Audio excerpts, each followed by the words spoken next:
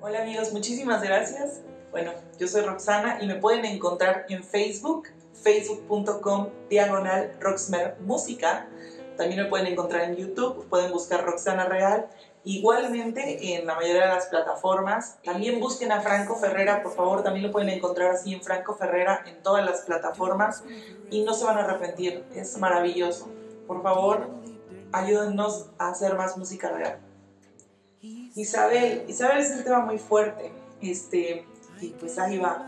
Eh, yo eh, tengo epilepsia y desde que era niña eso fue una, una cosa muy fuerte para mí, porque además este, en el tipo de epilepsia que yo tengo, pues no había tanta información, fue muy difícil detectarlo y eso fue muy duro para mí eh, poderlo, poderlo este, atravesar, ¿no? Porque justo cuando no tienes como mucha información, eh, pues es muy duro, es muy duro. Y yo creo que mucha gente que tiene algún tipo de condición este, parecida, pues lo, ha pasado, ¿no? Ahí hubo mucho acoso en la escuela, este, abuso incluso. Em, y, viví cosas muy fuertes a partir de eso. Este, hubo muchas veces que yo quise incluso ya este, darme por vencida porque no podía con, con, el tema. Y claro, este, siempre tuve apoyo en mi familia, bendito Dios, siempre este, estuve viendo a médicos, pero nos enteramos que yo tenía esta, esta condición hasta que tuve 15. Y digo, como sea, yo soy una mujer que ha tenido la gran bendición de tener una familia este, cerca, de tener muchos recursos para poder estar bien, pero hay mucha gente que no. Y mi tía Isabel murió, eh, pues trágicamente, eh, pero sobre todo vivió también con un, problema similar a partir de un accidente, al parecer, y pues son cosas que al fin y al cabo pues son parte de tu, de tu linaje, ¿no? Y de tus ancestros. Eh, curiosamente, eh, y espero no, no a nadie, si se puede decir, pero este, Franco Ferrera también, que está en Chile, tiene el mismo tipo de epilepsia y es, y es genial, ¿no? Y él me decía que el tipo de epilepsia que tenemos es la epilepsia de los genios y que Albert Einstein, por ejemplo, tenía el mismo tipo de condición. Pero, pues yo lo veo a él, veo una persona completamente funcional, normal, perfecta, este, y además justo como él dice, muy genial, ¿no? Em, pero pues nosotros tuvimos esta capacidad de poder vivir con ello y poder trascenderlo. En el pasado había mucha gente que no, por los avances de la medicina, por muchas cuestiones. Y pues cuando yo pensé en, en Isabel realmente fue un pretexto para dar un, para dar un, este, un homenaje sincero a todos los ancestros, a todas esas personas que lucharon por nosotros, porque cuando tú vas incluso a hacer un trámite, tú no sabes qué tuvo que pasar para que tú fueras capaz de hacer ese trámite, para que tú fueras capaz de emitir un voto, para que tú fueras este, capaz de tener agua en tu casa abriendo un grifo.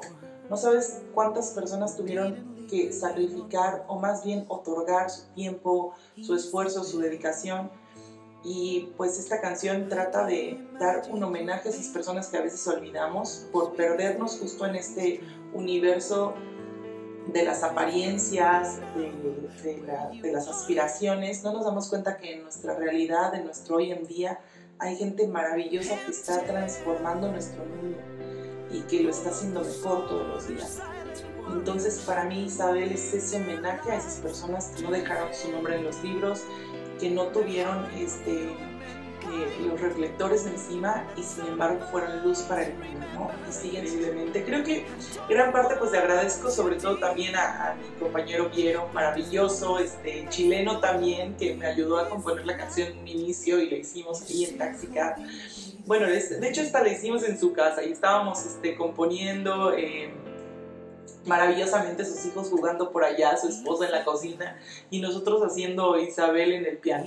Este, fue muy bonito eh, llegar a esa canción porque no era una canción planeada, ¿no? Después de eso él me la manda y yo se la paso a Franco Ferrera, también chileno, este, y, y tengo una fascinación por los chilenos porque son gente maravillosa, increíble, de verdad, con una calidad moral, humana, este, mental impresionante. Siempre que estoy en contacto con alguien de Chile, eh, quedo fascinada. Es gente súper, súper este, amorosa con la vida. Y pues se la pasé a Franco. Franco este, quiso ponerle toda la producción este, encima, poner su voz. También lo hicimos a distancia y, y fue padrísimo cómo todo embonó de una forma tan bonita. Después de eso, pues se nos ocurrió hacer el video. Él hizo las tomas en Chile. También hay unas tomas de Croacia porque él está en la embajada de Croacia y este, pues su familia es, es croata y, y, también tienen todo este bagaje cultural, ¿no? De Croacia. Y pues está la parte de nosotros en la que quisimos exaltar toda la riqueza cultural de Tlaxcala, ¿no? Porque al fin y al cabo, esos lugares donde estuvimos haciendo las, las filmaciones, pues son son la ciudad que construyeron nuestros ancestros. Estas, estas, tú no sabes cuántas personas y cuántas manos estuvieron involucradas en levantar esas piedras, en ponerlas juntas, en hacer que todo eso em, estuviera ahí para que nosotros viviéramos, ¿no? Y esa es la forma en la que, pues, pudimos honrar también a todas esas personas tlaxcaltecas que pusieron sus manos para el Tlaxcala que conocemos. Es un Tlaxcala muy bonito. Yo creo que ya tenemos unos 10 años contactados con Rox. Eh, siento que nos admiramos mutuamente en nuestros trabajos. Ella tiene una calidad vocal increíble, eh, compone muy bien y siento que las temáticas que aborda son súper interesantes. Creo que teníamos hace mucho rato ganas de trabajar juntos y esta pandemia eh, trajo esta oportunidad en la medida de que cada uno está en sus casas eh, y hay tiempo realmente para concretar eh, todo lo que está pendiente.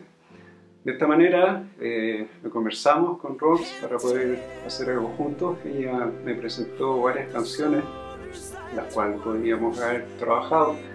Eh, y conversamos finalmente de hacer Isabel, que es una canción con un sentido muy profundo que lo van a poder descubrir cuando vean el video.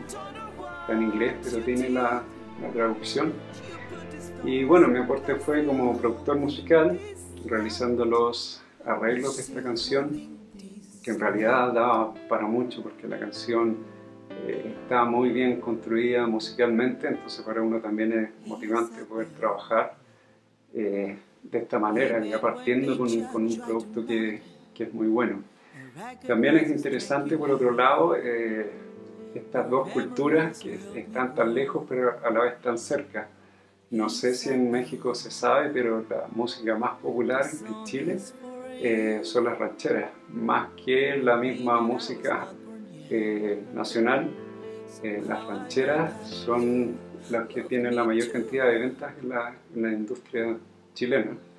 Eh, a pesar de, lo que suena normalmente en, las radios nacionales, eh, muchas radios que cada uno tiene su estilo, pero eh, digamos que la, la, gente más escucha finalmente y los festivales que se hacen llenan, llenan estadios. algo muy, muy, muy popular acá.